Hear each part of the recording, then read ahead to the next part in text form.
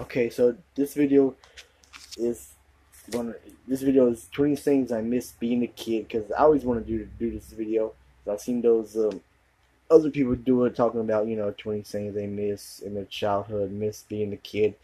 So I felt like, what the hell? Let's do this video. Let's have a, you know, let's let's just say I'm going to be talking about the 20 things I miss being a kid, but in a comic view. But yeah, these are actually 20 things I miss being a kid. Enjoy. Number one, getting home from school just to watch that damn Nickelodeon. I used to love the good old Nick. Number two, written videos at the video store. Yeah.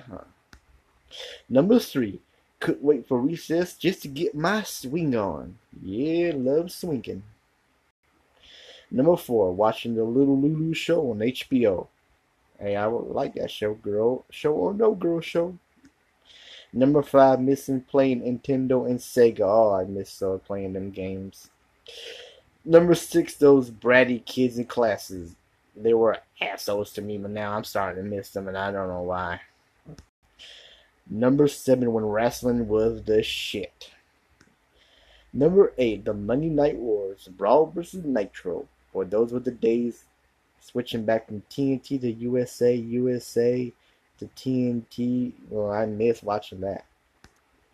Number nine, watching HBO for those dirty movies. Oh, yeah.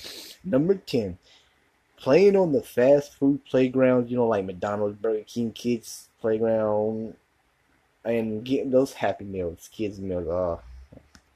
Number 11, missing some of the kids at my school. Yeah, I do miss some of them. Not all of them, but some of them. Number 12, being obsessed with Ed, Edd n Eddy. Jawbreakers, everyone? Number 13, seeing the Scramble Playboy channel for the, for the very first time. Mm. Number 14, going to the fair in October. I still go to the fair, but it's not good when you were a little kid. You're like, ooh, look at the fair. Number 15, watching the fireworks and saying it is the amazing thing in the world. Look at those fireworks. Number 16, going on Halloween night and getting some candy, trick or treating with my costume.